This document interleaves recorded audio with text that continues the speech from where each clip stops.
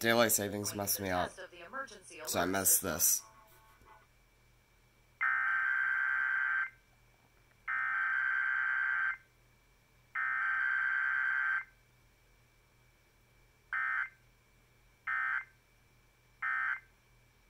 Station is testing its emergency alert system equipment. The EAS will provide timely emergency warnings. This station serves the Pittsburgh Extended Operational Area. This concludes this emergency alert system test. Moon Beer and Pop for Less has crazy.